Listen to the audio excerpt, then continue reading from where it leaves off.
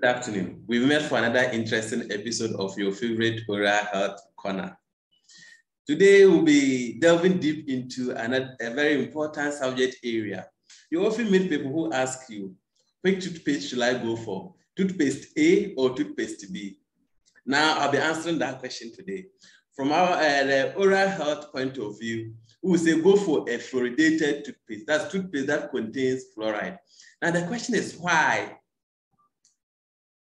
The reason is that the tooth structures are a little bit weaker and then they are unable to resist acidic attack. They are just like mortar. When you use the fluoridated toothpaste, it changes the structure of the teeth from that mortar stage to a concrete stage. So I'm making them to mortar and concrete. Now, the structure of the teeth, the inorganic part, we call it the hydroxyapatite. When you use the fluoridated toothpaste, it changes it from hydroxyapatite to fluoroapatite, which is stronger and able to resist acidic attack. Now, so if you buy the toothpaste, just look at it, let, make sure that fluoride is written on it. The recommended fluoride for adult is 1000 ppm and above.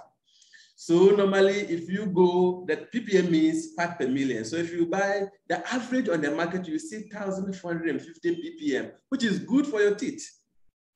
Then for children, it should be below 1000 uh, ppm. Now that one, usually you see 525 ppm on the children. Toothpaste. That is also good for them.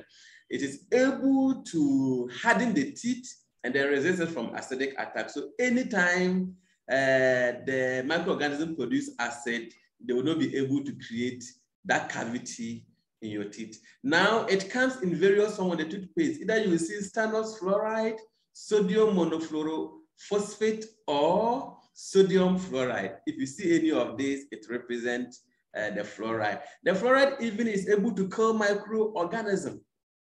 In its anionic form, it will kill microorganisms and then they will not be able to produce the acid. In fact, it's also able to interfere with the enzyme of the microorganism that converts sugar into uh, acid the fermentation process. So we realize that the fluoride is very, very, very important and it is good for your teeth. And anytime you are buying toothpaste, make sure it contains fluoride. Ideally, should be in our soil, in our water, but we don't have much and we have to supplement it through the toothpaste. Thank you so much for your rapt attention. Now you know the toothpaste to buy. It is not the brand name or whatever, but it is what it contains, what is the fluoride. Thank you so much.